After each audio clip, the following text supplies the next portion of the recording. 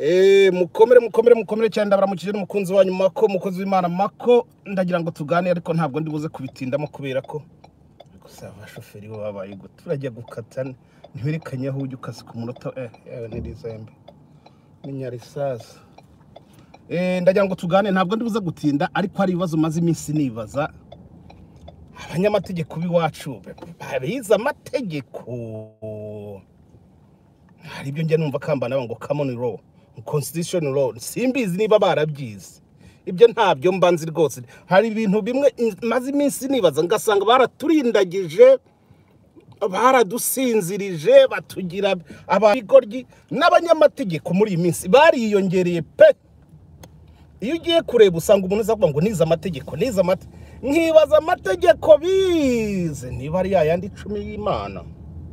Banza irya kane ngo bararivanyemo n'abayize.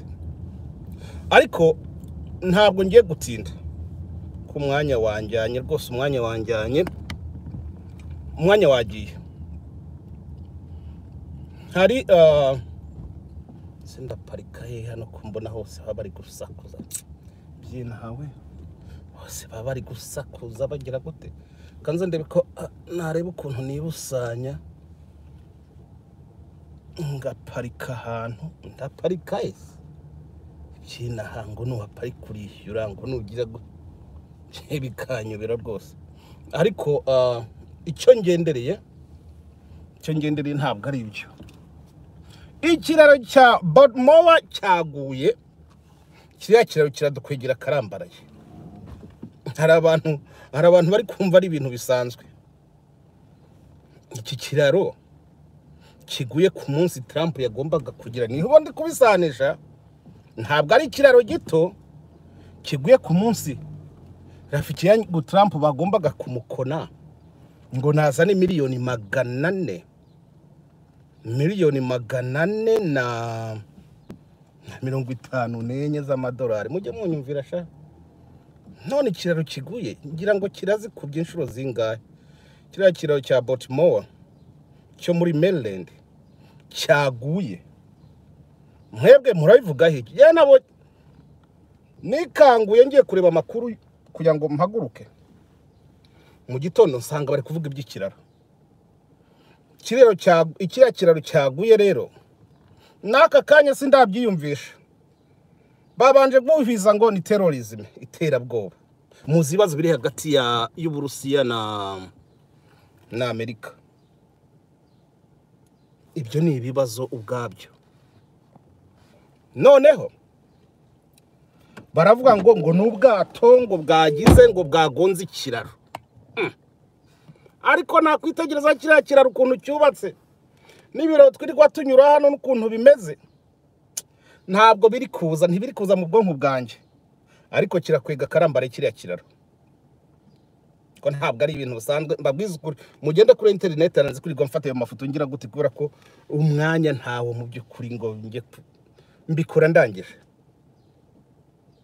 Abantu bavuye muri kiriya kiraro ntibazwe. Umubare. Buriya bwato bavuga ko bwari bukomotse muri Sri Lanka. Nubwo muri Sri Lanka ni ubwahehe noneho ku mafoto niba ari ikiraro cyaguye ku bwato niba ari ubwato bwaguye ku kiraro byo byanyobeye. Ni kubona ikiraro nka kiriya gikora businga rero ariko bikaba byahuje n'uyu munsi amasaha Trump yari asigaranye kugira ngo bamukone batange ziriya miliyoni z'amadolari byanteye kwibaza nyine. Kuko ibya bya Trump ntibiri kuvuga noneho hari kuvugwa ikiraro gusa. Njye nyambwira abanyarwanda nkababwira nti nimudakanguka. Muzisanga twarasama erga igihugu gifashwe. Kenshi iyo igihugu gifashwe kigafatwa n'umunyamahanga kigafatwa n'umuntu wagiteye. Icya mbere akora ni ukwica bene igihugu abandi akabagira ingaruzwamuheto. Aha hari abantu baba bati ese mako amerika bimeze bite njya numva bavuga geopolitike geopolitike ntumbaze ibya geopolitike ibyo ari byo ntumbaze numva ngo ni politike yo hejuru yo mu rwego rwo hejuru ngo ikombayininga ngo ibihugu ngo uturere ngo imigabane ibyo byaransize. Ariko icyo ndeba ni ikiwacu. Ndi kubaza abantu bize amategeko rero. Abantu bize amategeko buri gihe muhora mutubwira ngo ngo mwize amategeko mwize amategeko. Ibi ndabibaza bakambanda n'aba bandi mwese. Mwize amategeko bande na bande ba valante n'abandi ngiye kubabaza. Hari ibimenyetso bigaragara simusiga byerekana ko muri kongo habonetse urukiko rubufitiye ububasha amahano yahabereye yakwitwa jenoside. Mu nkiko mwiza urwo rukiko ntirubaho. Urwo rukiko ruzava rubifitiye ububasha. Rwemerewe kubivugaho. Urwo rukiko ba- bararurema bararubyara bararucura mu mategeko mwiza urwo rukiko rwitwa gute? Niba inkiko zose zo ku isi nta na rumwe rubifitiye ububasha. Ibimenyetso birahari ko ari jenoside imibare y'abishwe iteye ubwoba ibyaha byahabereye gufata ku ngufu kwica iyicarubozo gusenyera abaturage kubatwikira kubambura n'ibiki ukica miliyoni cumi na. Ariko akaba nta rukiko rubifitiye ububasha. Reka mbabwire. Afurika dufite ingorane dufite ingorane zikomeye cyane. Mu myaka mirongo ingahe mirongo itandatu ishize ibihugu bya afurika byikukiye. Mwakomeje kwiga kugenda nk'abazungu kuvuga nk'abazungu kuvuga nk'umukoroni byose biba nk'iby'umukoroni. Ye kwambaraho murusha umukoroni kwambara. Ariko gukora nk'umukoroni ntabyo mwize. Iryo somo baryigishaga mwasohotse. Nk'ubu intambara ziri muri kongo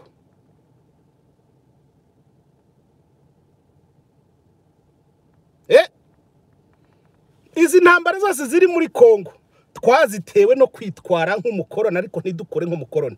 Kongo amabuye y'agaciro. Ko n'ubundi yari ari hariya. Niba umukoroni ashongesha ariya mabuye akayahinguramo ibintu naho kongo yo cyangwa ibihugu bya afurika byo bishishikajwe no kuyacukura biyagurisha ku bakoroni ibyo abakoroni bakoresha ntabyo muzi.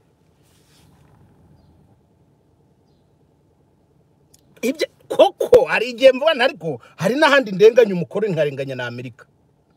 None se abantu bafite amabuye y'agaciro. Bayicayeho birirwa bayanyaho gusa bayasubiraho gusa bayanyaraho ntibazi icyo akora. Umunyamerika natuma ah, bariya basogosa ati mugende mutuzanire ariya mabuye ari gupfa ubusa ngo ngo bari kutwiba amabuye. Mumbwira inganda ziri muri kongo zihingura amabuye y'agaciro zigahingura zahabu zigahingura koruta zikagira gute zi- zi- zigakoramo ibikoresho bishobora kugurishwa. Nta na rumwe. Kandi bicaye ku mabuye y'agaciro. Imyaka mirongo itandatu irashize abantu barikukiye. Biga i burayi biga muri amerika biga he? Amabuye ni ukuyagurisha. Ibyo abandi bayakoresha ni ibiki? Kuki iki batagusha poroduwi fini? Aho rero niyo amerika nyine itureba ikabata po utu ni udusimba nta bantu barimo. Tugera muri amerika karuvati amakoti amasuti na byo bikorewe hariya. Ariko icyo amabuye y'agaciro akora ntacyo tuzi. Niyo mpamvu ngo basogokuru bari bakomeye cyane. Bari abahanga bari bazi no gucura icumu. Mwibuke neza ko ntaho bagiye kubyiga muri siyansi ninzajya mva nti rero hatazagira umuntu umuhesha umwanya ngo yarize ngo uriya ni dogiteri n'ibiki no. Intambara zose ziri iwacu ni twebwe twaziremye. Kuko iyo tukiza kuba dufite ubushobozi n'ubwenge bwo kwiga no gutekereza atari ugushaka kugaragara nk'umuzungu. Ndakurahiye tuba twaragize gute? Tuba twarageze kure cyane kure cyane. Ya kamera yanjye nti- ntize ngo izime ngo harashyushye. Kamera na yo mana. Nuko ibyo mbiciye hejuru kuko umukoroni mbabwiza ukuri. Ntabwo amerika ishobora gukenera ibikoresho ngo yirirwe ngo ibaririze isabirize izi ko hari abantu badatekereza mu mutwe izi neza ko hari abantu bashobora kwica abandi ku nyungu za amerika. Erega nta terabwoba ribaho. Iki mucyandike nta terabwoba ribaho ahubwo byitwa iterabwoba iyo bitari mu nyungu z'umukoroni. Nta muntu wigeze utera ubwoba ku isi nka fpr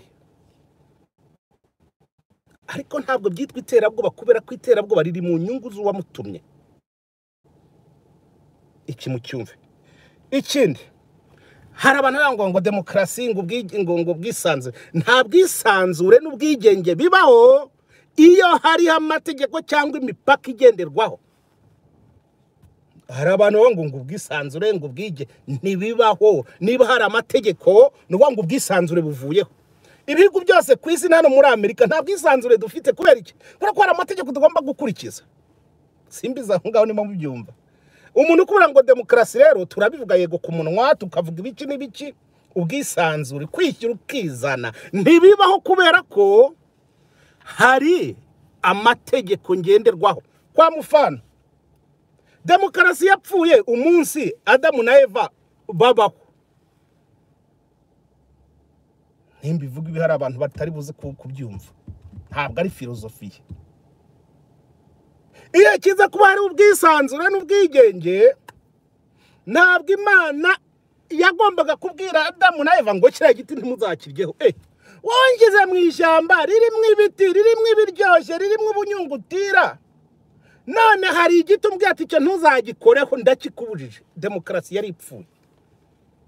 Kubera ko adamu cyangwa eva niba agombaga kumenya imbuto ibyo akeneye akarya. Kubera iyo mpamvu rero ubwisanzure ntabubaho kubera ko haba hariho imirongo ntarengwa. N'aha rero natwe nta demokarasi tugira kubera ko umukoroni yadushyiriyeho imirongo. Keretse haramutse habonetse urukiko rubifitiye ububasha. Ninde wemeje jenoside y'abatutsi? Urwo rukiko rwari ruvuye. Jenoside y'abatutsi. Babanje ngo itsembabwoko n'itsembatsemba. Noya da? Ni mm, mm. umukoroni mwebwe muvuga ko ari jenoside y'abatutsi twe tuzajya tuvuga ko ari jenoside y'abanyarwanda. Ariko by'umukoroni ni ikinyoma. Kubera ko iyo ataza kuba ari ikinyoma amerika iba yaragaragaje ubushake n'ubushobozi bwo kwerekana impamvu itemera jenoside y'abatutsi. Ati n'abahutu barapfuye. Uyu munsi amagufa yose bya bindi mwita imibiri by'ikinyoma umubiri ni uyu. Amagufa yose iryo ayo abahutu yaranyitse kandi niyo ari menshi. Ntabwo amerika irasakuza ngo ivuge ngo ya ngo uzi n'ibindi. Ngo ibintu muri gukora si byo kubera ko hari n'andi magufa y'abahutu dukeneye kumenya ahari. Amerika icyo ntishobora kukibaza? Eh? Ntishobora kuki niyo mpamvu rero iyo mbivuze bamwe barajugumira ngo makungu reka da ntabwo naguzwe. Ntabwo naguzwe. Mumbwize ukuri. Ku rurimi amerika ivuga ko ari jenoside y'abanyarwanda. Ariko mu bikorwa iri muri wa murongo yahaye fpr ni jenoside y'abatutsi. Kuko niba ari jenoside y'abahutu mwabahutu mwe. Namwe ni mwandike mubaze mubaze uwo nguwo da. Mwe mwize amategeko namwe mwabatutsi mwe. Hanyuma jenoside y'abanyarwanda ko buri gihe twumva ngo amagufa aya magufa ni ay'abahutu n'ay'abatutsi ko tutarabona aho bahakana bavuga ati aya ngaya ni ay'abahutu nuko uwabatumye abirimo arabishyigikiye. Mwibuke neza mperutse kubabwira ko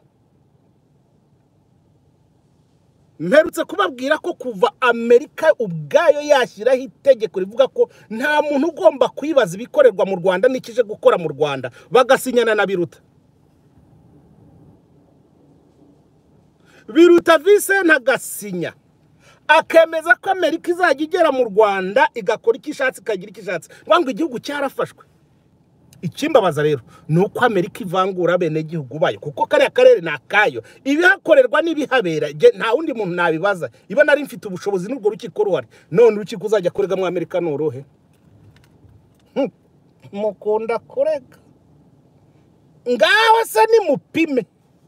Hagira ugerageza. Anabisunutse. Mureke kwirirwa murindagiza abanyarwanda. Iki ni ikibazo gikomeye cyane gikomereye akarere ndetse mubimenye iyi gahunda y'abimukira. Ni uko ab- abenegihugu gakondo bagomba kurandurwa gake gake hagaterwa abanyamahanga. Ninde wigeze uzamura urutoki ngo aburanye paul kagame ubwo yavuga ngo ngo rega mu myaka iri imbere? Ngo iki gihugu kizaba cyiganjemo abanyamahanga kuruta abanyarwanda. Yari avuze ko abanyarwanda bagomba kwicwa bakarandurwa bagakurwaho. Igihugu uwagifashe akagituza mwaba ashatse.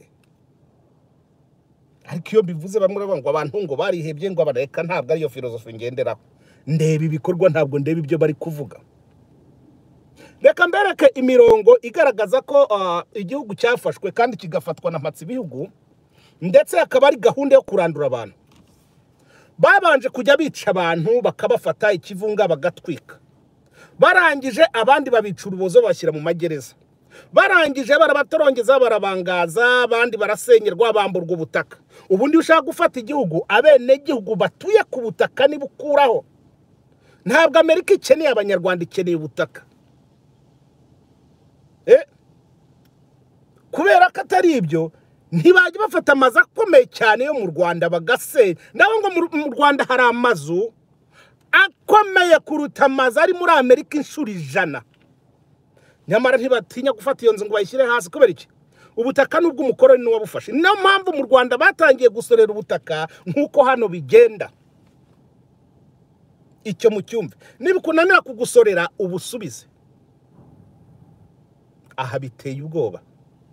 Kabiri gufata abanyarwanda bakabigiraho inkingo n'in- ni- n'ingingo zigomba gukurwamo kubatera inkingo zitizweho zitemejwe na OMS na OMS ni cyo kintuzi abaganga b'abanyarwanda bagaceceka bakavuga ati uyu muti si byiza kuwugerageza ku munyarwanda.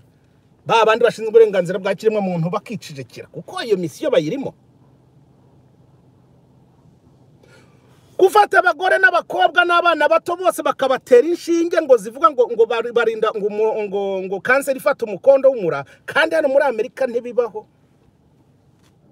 Kugira ngo ejo kubyara kurondoka kw'abantu bitazakomeza. Gufata abagabo bakabakona ku ngufu ngo bari kubasiramura. Hariyo mugabo umaze imyaka mirongo itatu makumyabiri. Yikundanira n'uwo yikundaniraho bitsitanaho harya uwo mugabo aracyakeneye ibindi biporotegisiyo by'ibiki ko yamaze kumenyera iryo tyazo ngombwa ngo mujyane kuri ponseze aho ni uburyo bwo kurandura abantu. Ejo bundi bafasha abantu ikivunge babatera ibishinge ngo bya fayiza n'ibiki n'ibiki bya byo muri korona gahunda yo gukona abantu mu rwanda. Ku isi hose ni mu rwanda byabaye. Aha rero mwebwe mwize amategeko ndababaza muzambarize kandi musobanurire. Urukiko ruzemeza ko mu rwanda habaye jenoside nyarwanda. Ni uruhe? Ko jenoside inyito ya jenoside y'abatutsi tutazi uwabigennye? Niba amerika na ba bandi muvuga ngo twese ngo turi hamwe ngo jenoside ngo ni iy'abanyarwanda ndabyumva. Mu myaka mirongo itatu nta gufa na rimwe riraboneka ry'umuhutu. Nta n'urwibutso rwashyizwe ruvuga ruti yego n'abahutu barishwe aya magufa dusanze ari ay'abahutu. Noneho ikibazo rero ngiye kubaza ubu nashoje narangije nta- ntabwo ndi bubatindire. Ndabaza kambana ni we ukuriye abize amategeko. Amerika ishobora kwemera byibura ko hashobora gufatwa eshantiyo mu gihugu. Ku nzibutso zose zo mu gihugu. Bagafata amagufa agapimwa dna kugira ngo barebe ko mu bantu bariho hari abo baba bafitanye isano. Abavuga ko biciwe abantu n'imiryango yabo. Amerika ishobora kwemera gukora icyo kintu. Ko ari ikintu cyoroshye gukora shantiyo bakavuga bati uyu muntu afitanye isano na mako. Kandi mako avuga ko ari umutu cyangwa ari umutwa. Mako avuga ko ari umututsi. Amerika icyo gishobora kucyemera? Aho ni ho nzemera nkabivuga naho gukomeza batsindagira abantu ngo amagufa ngo y'abatutsi. Reka da abatutsi bari bari mu gihugu turabazi n'abahari uyu munsi turabazi. Ibi rero ni uko amerika iri guhisha ibimenyetso n'abakozi bayo. Bari guhisha ibimenyetso kugira ngo muri myaka mirongo itatu ishire baraturindagije ngo amerika yemera ko ngo, hatabaye jenoside y'abatutsi. Ariko imyaka mirongo itatu ishize nta kintu na kimwe kirerekana ko amerika ishingiye ivuga ngo abahutu barapfuye. Uyu munsi wabaza abahutu bishwe aho bari. Hari uwaherekana. Nyamara dutaka buri munsi tubivuga buri munsi. Mm? Nta kindi kintu kindi rero nababwira narenzaho ni uko abanyarwanda turasinziriye cyari n'ikirego gikomeye cyane kubona uwitwa perezida wa repubulika avuga ati mwebwe mwa baturage mwe mu myaka iri imbere ga ntimuzaba mukiriho. Hazaba hatuwe n'abanyamahanga abantu inteko abadepite babandi bize n'abize amategeko n'abize ibiki babandi bafite za ndome zitatu bagaceceka kandi umuntu amaze kubateguza ngo ntimuzamukiriho tu- igihugu kizaturwa n'abanyamahanga mwebwe muzicwa. Agaceceka yarangiza akaza akavuga ati erega ati naganiriye n'abakomeye bambwira ko ziriya nkingo umuntu wese wazitewe atazarenza imyaka makumyabiri sirivupure ntabwo mwumva ko igihugu gifitwe na ba nyiracyo? Ubu rero nsigaye mvuga make kubera ko nta bintu bya propaganda ndimo ibiki n'ibiki n'ibiki byo kwirirwa mbeshya abantu ngo hari ibintu ngo no! Ni mukine politike igaragaza ko mubaye mushaka kwibohora pana kugendera ibintu hejuru. Niba koko bwa bwisanzure nababwiraga buriho ngaho se nimubaze. None se niba umuzi w'ikibazo aho uri utinya no kuhavuga no kuhakora. Bya politike mwabiretse. Ibyo mwigamo amategeko mwabiretse. Ndumva nabashimira mwebwe mwese kubera ko amasaha yanjye yo kuruhuka ararangiye. Ninjiye mu muhanda mbifurije gucana ku maso. Mbifurije kwibaza byinshi kuri ibi bibazo nibaza n'ubundi sindahagarika nzabigarukaho. Ibintu abanyafurika twiga ni ibintu bidafite icyo bitumariye. Ibifite umumaro ntabyo. Umuntu ngo nize seanse nize ibiki nize ibiki nize Ah, ah, kuba tudashobora no gucura uruhindu koko birambabaza. Twicaye ku mabuye tuyicayeho tumeze birambabaza bikambabaza. Ahubwo tugashaka kuvuga nk'abazungu kugenda nk'abazungu kurya nk'abazungu ariko imikorere yacu iri inyuma ya- twa dusimba two mu ishyamba ntavuze. Ubwo rero mwebwe mwese mwari muri muri cati mugire amahoro y'imana ikiganiro mugisabikanye. Murabizi neza ko ibyo byantuze ngo like subscribe. Ntabwo nshobora gufata umuntu akavuga ngo ngwino ngo bikunde. E ngo ngwino oya. Ubu ni ubutumwa bugenewe ababugenewe ntabwo ari ibiryo bya- by'ababonetse bose. Ndumva rero nabashimira mugire umunsi mwiza ariko mwibaze nanone kuri kiriya kiraro impamvu cyaguye kiriya kiraro cya Baltimore ntabwo ari ikiraro cyoroshye. Kandi mwibaze impamvu bibaye. Bikaba bihuriranye. N'umunsi Trump agomba kwitaba wo kwishyura bond. Miliyoni magana atanu mirongo magana ane mirongo itanu n'enye. Ubwo ni miliyari magana atanu mirongo magana atanu z'amanyarwanda. Mhm. Eh, nimwumve iby'umwuka abwira amatorero. Sawa bayi tuzongera.